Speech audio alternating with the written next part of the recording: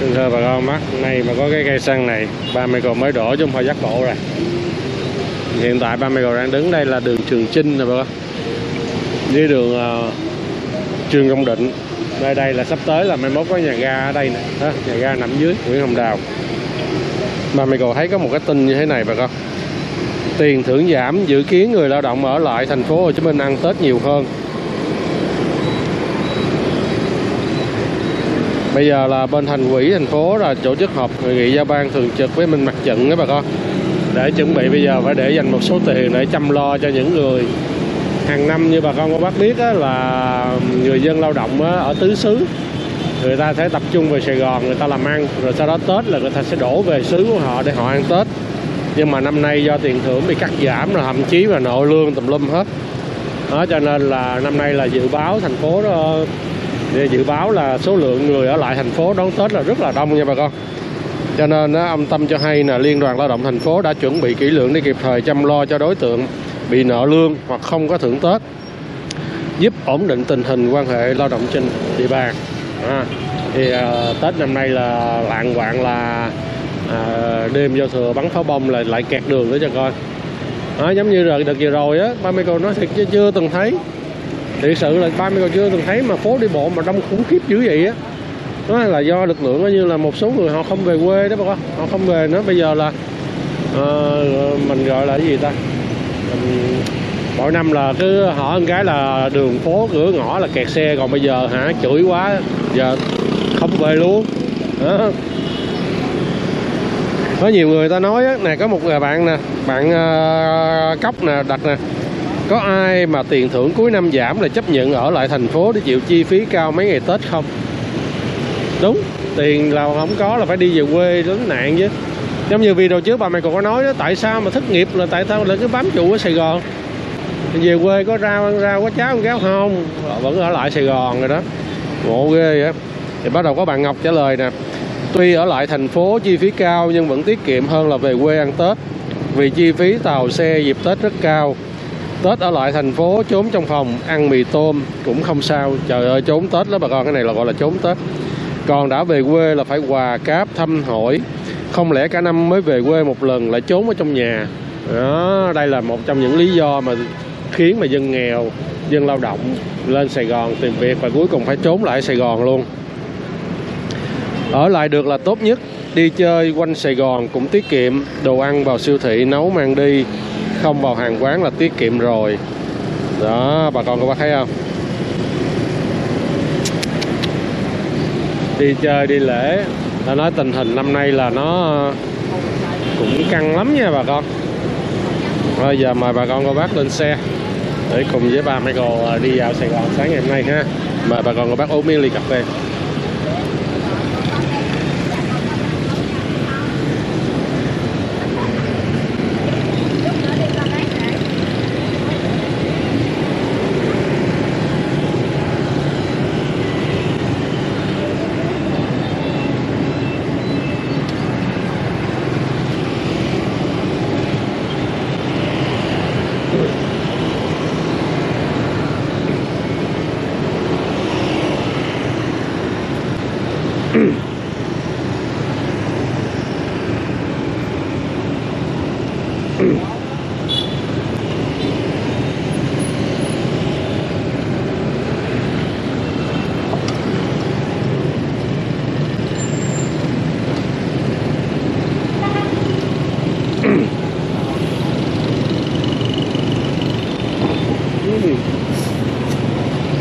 ở đây ba mươi cổ thấy có giáo sứ Tân Thành nè bà con. Giờ mình quẹo vô giáo sứ Tân Thành. Vô mấy con hẻm này cho nó thoải mái ha.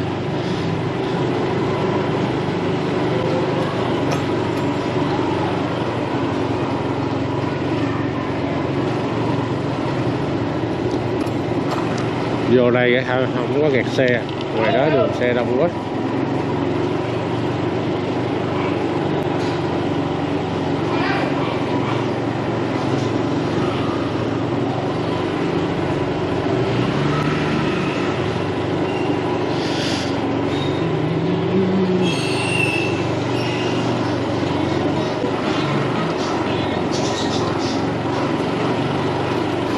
Đây chúng ta tới đây là giáo sứ Tân Thành. Giáo sứ Tân Thành hồi xưa không phải là cái cổng đi từ đường này vô đâu nha bà con mà nó đi đường à, bên à, Nguyễn Hồng Đào. Ồ, oh, Giáng sinh Noel bây giờ vẫn còn để nè bà con. Hang đá Đức Mẹ. Hang đá Đức Mẹ vẫn còn nè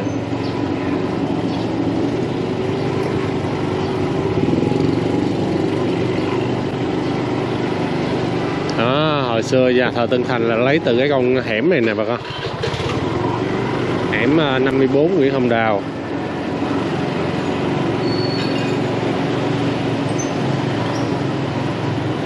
À, nha thờ Tân Thành người ta để cái ra chơi Tết luôn bà con.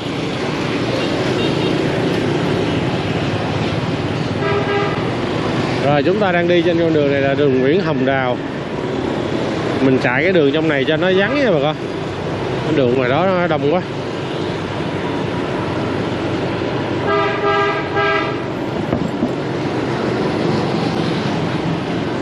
Thông thường cái khu này là người ta gọi là khu bào cát. À, mà nhưng mà theo uh, anh cù mai công á là cái khu bào cát này cũng là gọi là khu ông tạ luôn nè bà con. Tại vì hồi xưa à, năm năm tư á à, các giáo dân á, sau khi mà định cư ờ, ở ờ, trên vùng đất ông tạ đó ngay ngã ba ông tạ rồi sau đó là sao á bắt đầu có kéo về đây bắt đầu khẩn tiếp. À, hồi đó ờ, khai hoang lập đất nhiều lắm khoảng năm năm tư cộng đồng người, người Bắc di cư vào miền Nam. À, lập ấp. Khai quang khẩn đất. Cho nên cái khu này vẫn được anh Cù Mai Công được gọi là cái khu ông tạ khu tạ rộng lắm. Bao gồm luôn cả khu Bắc Hải nữa.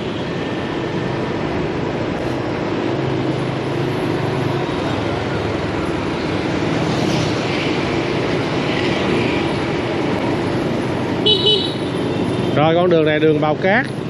Đường bào cát này người ta còn hay gọi đó là đường bào cát đôi đó bà con. Này có tiệm bánh à, đồng tiến ha. Ừ. thấy cũng đông người mua ghê. Có bánh mì nữa là bánh mì que nè bánh mì trứng ốp la 12 15 bánh mì hamburger 21 bánh mì thịt hai chục. Nói chung khoảng hai chục là ăn được. Ở đây có một cái ngôi chợ đó bà con. Chợ này người ta gọi là chợ bào cát. Hee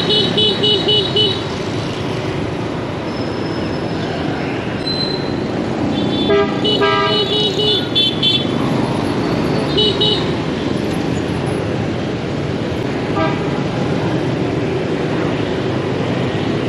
đại lý vé số. Con người mà càng khổ là càng lại dính vô vé số. Lạ lắm bà con. Bao nhiêu tiền họ đổ vô vé số. Mà đặc biệt đó bà con, có một cái à, tin là bữa báo đăng một cái người chạy xe ôm trúng chín mươi mấy tỷ. Ba mẹ con cũng không biết nên mừng cho họ hay nên buồn cho họ. Cái dòng mà đang mà nghèo khổ mà tự nhiên trúng tiền nhiều á bà con, nguy hiểm lắm nha bà con. Ba mẹ con nói thật họ mà biết giữ thì giữ, thì cái đó là cái may mắn, cái phước cho họ. Còn không thôi thì vài ba năm thôi, cũng trở về các bụi, trở về các bụi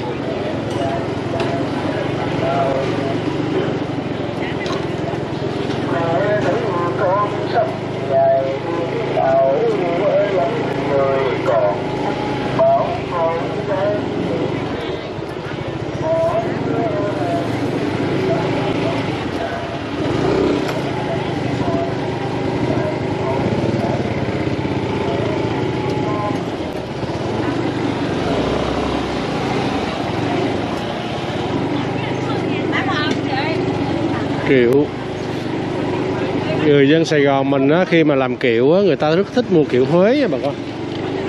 À, ba mẹ còn không biết là kiệu Huế nó có ngon hơn mấy cái kiệu khác không mà sao thấy người ta thích thích nhất là mua kiệu Huế. Nhưng mà cái củ kiệu Huế có một lần có một năm ba mẹ còn mua hủ kiệu Huế ăn ba mẹ còn không không ăn được. Ừ. cái hương vị người miền Nam với người miền Trung nó khác nhau hoàn toàn nha bà con.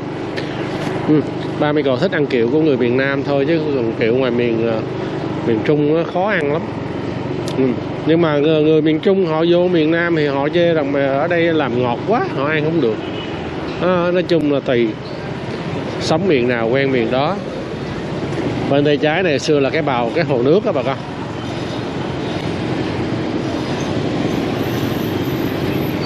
Ừ. Đây đây đây hồi xưa là cái hồ nước bự lắm. Bây giờ là cái cái công viên rồi cái ờ, cái nơi tập thể dục rồi câu lạc bộ thể dục rồi. Đó đó đây toàn bộ nguyên cái khu này là cái cái hồ nước bự lắm. Đây là đường phạm phú thứ.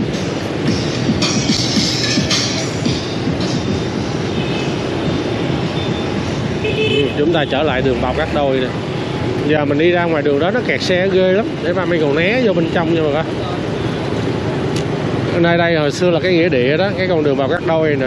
Đó, khu này là đó nghĩa địa bự lắm rồi quẹo phải. Mì quảng bà mua nè bà mua này ba mươi con ăn rồi nè. À, ba mươi vô chổng như ba mươi gò không ăn mì quảng mà ba mươi gò ăn cao lầu. Cao lầu ba mươi gò ăn không được nha. Nhiều người à, nói ngon với ba mươi gò không ăn cao lầu được. Ăn giống như thịt kho quá. Nhưng mà mì quảng ăn lại ngon.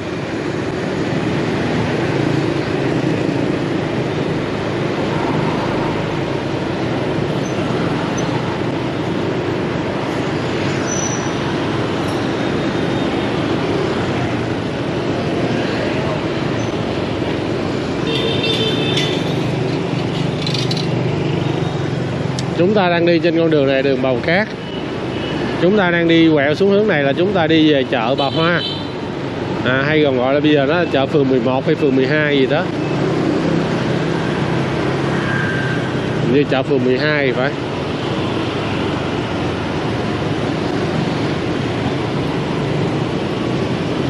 Hồi đó bên tay phải nè bà con mấy dãy nhà nè. Cái chợ ờ, bà hoa góc đầu tiên là nằm bên tay phải bà Michael đây nè. À, cái nhà lòng cái nhà lòng ban đầu là nằm bên tay phải đây. Rồi sau này à, bắt đầu mới ờ, về qua bên này. À, chợ bà hoa đầy ắp trái cây xoài keo 15 ngàn.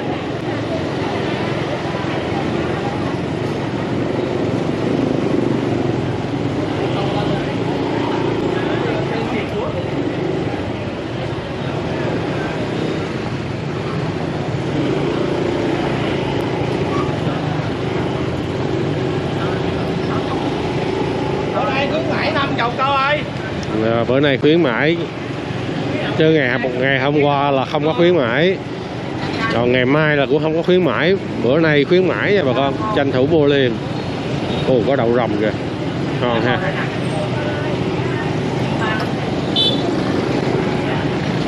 Mấy cái trái đậu rồng đó về chấm với mắm ruốc ha. À, mắm ruốc thịt hoặc là chấm với à, nếu mà bèo lắm á, dân nghèo lắm á, dưới quê á, xin thưa bà con bác làm cái mắm khô quẹt đó vô lấy nước mắm khô quẹt nó chấm với đậu rồng ăn ngon á ba cháy bật chét á.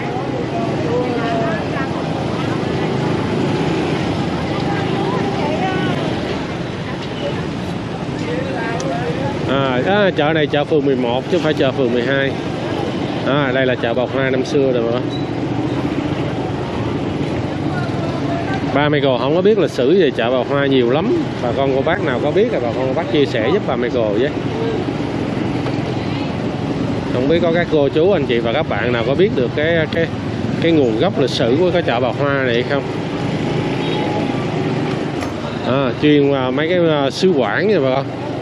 Nói chung là miền Trung bánh đập rồi bánh thử rồi bánh tráng rồi ôi trà quá trời luôn rồi mè sửng rồi đường rồi trời ơi ta nói ở đây là bà con cô bác mà muốn ăn à, đồ miền Trung là cứ ra chợ bà qua nha bà con ừ.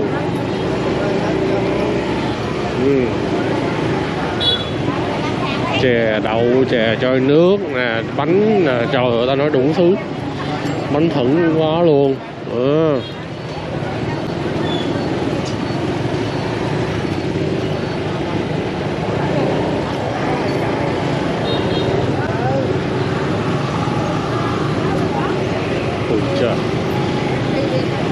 cái chợ này rất là lớn nha bà con. Chợ bà hoa này lớn lắm. Ờ. Ờ.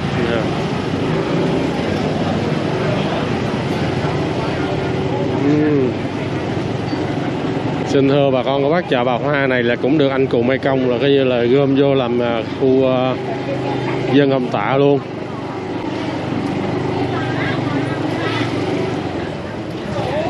Chứ ờ, thật ra cái khu này thì nếu mà nói đúng ra thì nó phải thuộc về à, cái khu ờ, làng dệt Bảy Hiền. Rồi giờ mình quẹo qua đây nè. Ừ. giờ cái chợ nó mở rộng rồi ghê không? Ba mày còn không biết hồi xưa trước năm 1975 cái chợ bà Hoa nó có lan rộng ra tới ui dữ dằn ra tới khu này dữ không mà con? À, chứ giờ ba mày còn thấy lan rộng ra bắt đầu bày ở đây nè là chuẩn bị cái chợ nó mở rộng ra tiếp nè đỉnh đó bán ở đây luôn nè ha. Mì quảng tôm sườn trời ơi mì quảng mà có 25 ngàn tô à quá rẻ. Những chỗ khác bán hả là tới 40 45 nha bà con mà nếu mà vô mấy cái hàng quán mà xịn xịn chút là bán tới 80 ngàn một tô.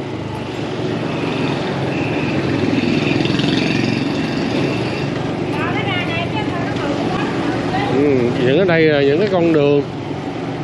Ở đây là đường đó nha bà con chứ không phải là hẻm đâu nha đó anh ta. Đường này đường Quảng Hiền nè. Đó đây là con đường nha bà con. Đó, độc đáo lắm. Cái khu ông tạ đó nhất là cái khu mà qua bên cái khu nghĩa hòa. Vòng vòng cái khu ông tạ này là xin thưa bà con bác những cái con hẻm mà bà con cô bác tưởng là hẻm nhưng mà thực ra nó là đường á. Đó. đây là đường Quảng Hiền nè. À, rất là độc đáo. Giống như con hẻm thì chứ có khác, có khác gì con đường đâu. Thậm chí cái con con hẻm này nó còn bự hơn cái con đường phía trước mặt rồi đó xin thưa bà con bác đây là đường nữa nè. Đó, mà đây là nó còn bự á.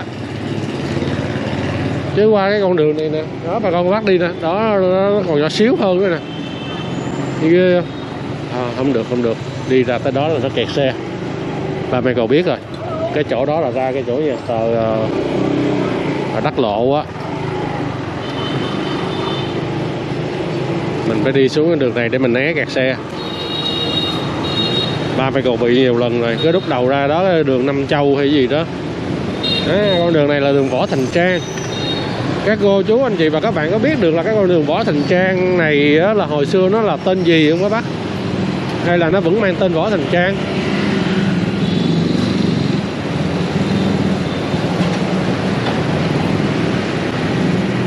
À, đây là gọi là, là khu à, làng dệt Bảy Hiền nè. À, đây là làng dệt Bảy Hiền. Hồi đó bà con bác đi tới đây là bà con bác sẽ nghe mấy cái máy dệt đó nó sầm sập sầm sập sầm sập tối ngày. Là cái khu đây có một cái đền tưởng niệm nè bà. Khu này hồi xưa là uh, dữ dằn lắm á. À. nơi đây á, ngay tại đó đó bà con là xuất phát điểm của uh, trận mà tổng tấn công ờ, Mậu Thân 1968 á rồi ngày 30 tháng 4 năm 1975 cũng khu này luôn đó. ở đây người ta được gọi đó là vùng lõm đó phải không? đó.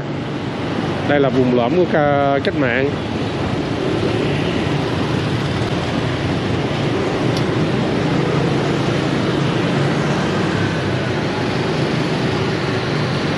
có những cái căn nhà ba mẹ gọi thấy nó vẫn còn xưa quá, trời xưa nè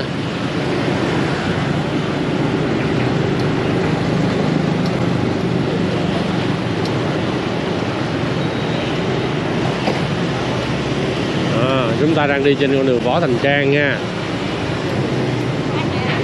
Hồi đó hai bên là đều là à, mấy nhà làm dệt hết. Mình tới đây mình quẹo qua được chưa ta? Ở đây hồi xưa có hai con đường đi vô nha. Chắc tới đây quẹo được rồi nè. Thấy ai cũng quẹo thì mình quẹo theo. Cũng là võ thành trang luôn hả ta? Nhớ có tới hai con đường luôn bà con à đây đó, con đường này đường Nguyễn Bá Tòng, ừ, đây là con đường Nguyễn Bá Nguyễn Bá Tòng. Đó có hai con đường đó bà con võ thành trang với Nguyễn Bá Tòng đó. Là dẫn vô cái uh, làng dệt Tẩy Hiền năm xưa.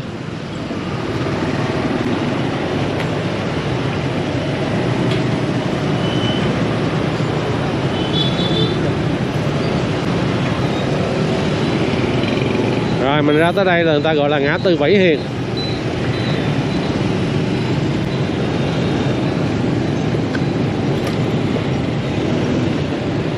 Hôm nay sẵn tiện, mình lên Tân Bình này và ba Michael dẫn bà con cô bác đi khám phá vùng đất Hồng Tạ.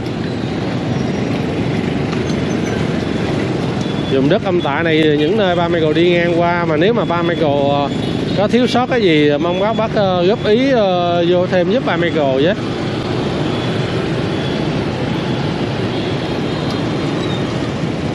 Rồi bên kia đó là bệnh viện à, thống nhất các bà con. Quân y viện thống nhất sau năm 75 trước đó nữa thì nó là bệnh viện à, vì dân.